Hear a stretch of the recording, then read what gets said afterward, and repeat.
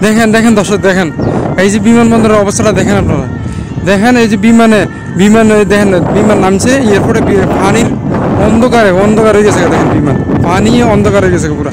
এই যে দেখেন ডুবার পুলিশ, আমরা কীভাবে আমরা কাজ করব, কীভাবে চলবো, আমরা নিজেরা মানে হতভম্ব হয়ে গেছি গা। দেখেন, পুলিশই অনেক চেষ্টা করতেছে মানে এদিকে যেন গাড়ি না আসে এদিকে অনেক গর্ত। গর্তর কারণে এ, সে ব্যারিকেড দিতেছে। দেখেন কীভাবে পানির স্রোতের সাথে কীভাবে আপনার গাড়ি চলে যাচ্ছে সাগরের ভিতরে দেখেন। কোথায় যাইতেছে?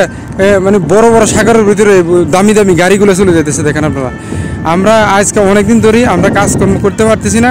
এই ডুবের মধ্যে অনেক মানে বন্যা মানে এই বন্যা আমি আর কোনোদিনই আমরা বাংলাদেশেও দেখি নাই কোনো দেশে আমরা এরকম দেখি নাই।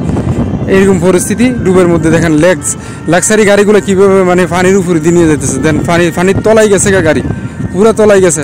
দেখেন কীভাবে বেশি চলে যাচ্ছে এসব সাগরের মধ্যে চলে যাচ্ছে। দর্শক, দেখেন, আর কি দেখাবো আপনাদেরকে দেখেন, আমরা কাজ কীভাবে করব, কীভাবে খাব, কীভাবে আমরা কি করব, আমরা নিজেরাই আসলে, আমরা এখন পাগলের মধ্যে হয়ে গেছি দেখেন আমি যে দোকানের মধ্যে গেছি দোকানের মধ্যে আডু সমান পানি। এই ফানির মধ্যে আমরা এই যে কেনাকাটা করতে গেছি, দেখেন, বাইরে পুরো ফানি আর ফানি। এই যে দৃশ্য দেখেন আপনারা দেখ- দেখলে আপনারা বুঝতে পারবেন যে কি অবস্থা ডুবের মধ্যে চলতেছে। আল্লাহর কি, এগুলো আল্লাহ কি দিতেছে, গজব দিতেছে না কি দিতেছে কোন আল্লাহ জানে। দেখেন, গাড়ি পার্কিং করে মানুষের চলে গেছে, এইভাবে গাড়ি আছে। এই যে দেখেন মানুষের দুবাইদের বাড়িঘর, ফানির তলে, একবার ফানির তলে পুরা তলাই গেছে গা।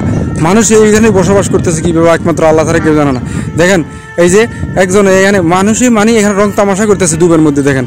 এই যে বাঁচতেছে দুইজন লোক, দেখেন, ফানির উপরে বাঁচতেছে। রং তামাশা মানে রং তামাশার মতন মনে হয় যে তাদের কাছে। দেখেন এয়ারপোর্টের অবস্থা। এই যে ফাঁসে এগুলো হলো ফানি আর ফানি ফানি আর ফানি যেদিকে তাকে এইদিকে ফানি। আমরা কাজকর্ম করতে পারতেছি না, আমরা খাইতে পারতেছি না, আমাদের যে কি অবস্থা যাইতেছে একমাত্র আল্লাহ জানে। সবাই আমাদের জন্য দোয়া করবেন, সবাই ভালো থাকবেন।